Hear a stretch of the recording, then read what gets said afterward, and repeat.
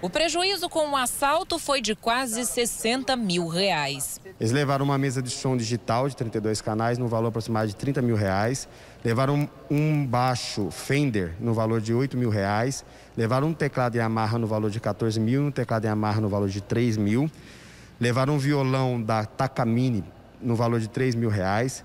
Levaram os dois PAs, que são avaliados no valor de, de 4 a 5 mil reais. Levaram uma, uma caixa de grave da Ataque, avaliado no valor de 5 mil reais também. Levaram uma televisão LG 50 polegadas da sala das crianças no valor de 3 a 4 mil reais. Essa carreta que você está vendo está parada em frente o nono batalhão da Polícia Militar, que fica aqui no setor Goiânia 2. São praticamente 300 metros de distância da igreja que foi arrombada. Os criminosos chegaram aqui pela madrugada, por volta de quatro e meia da manhã, pararam o carro em cima da calçada.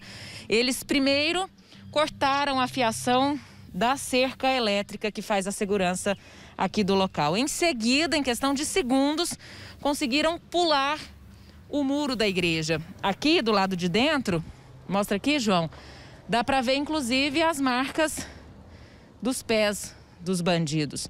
Dois deles vieram aqui para dentro. Eles quebraram essa proteção aqui, ó, do, do, do portão, aqui do motor do portão, e arrastando aqui conseguiram abrir o portão e rapidamente arrombaram a porta que dá acesso ao salão da igreja.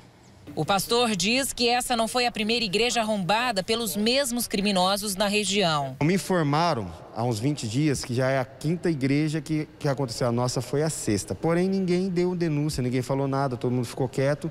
Mas eu, porém, achei que o prejuízo foi muito grande e resolvi acionar a polícia, acionar a televisão para poder fazer denúncia. Ele acredita que os aparelhos serão vendidos, já que tem um tipo certo de comprador. Espero que você, comerciante que vende som, que compra som, não compre esse som.